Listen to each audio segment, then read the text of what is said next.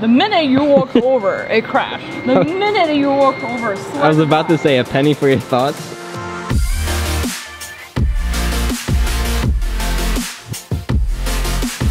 Let me do this again. You're recording?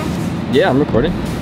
Um, so the, the way 3D scanning works is uh, picking up point cloud. It's called a point cloud because it's a cloud with uh, like a millions and billions of points in it.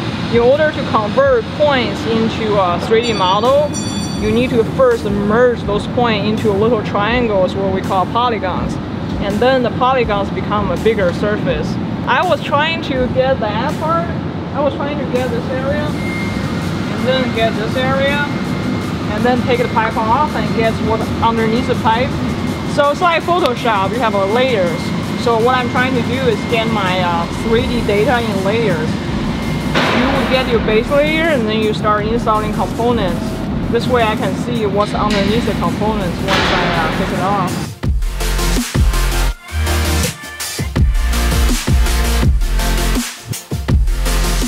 You cannot scan the hood from inside the car when the hood is closed. So what we're gonna do is close the hood and we will use a marker scan outside of the hood. We open the hood, scan it from this angle, and then we will line it up in 3D. So we basically get a assembly where the hood is closed. So you have one stripping that goes around the air duct, and you see the mark on the hood, this ring. Yeah. So that's where the weather stripping seals against the hood. So what it does to prevent fresh air coming in from this inlet, escape to the rest engine bay, you want the air to come out from here and directly goes down into the air box. So we are recreating this contour, but we are getting rid of the stock air duct. We're making our own. So you're just gonna make sure it gets an airtight seal. That's the design intention. That's the that's why I'm scanning the hood. So now that you got the 3D scan in there, what, Yeah.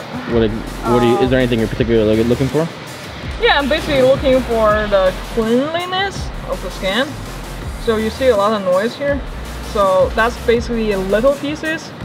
Some of those uh, we can get rid of later in the cleaning.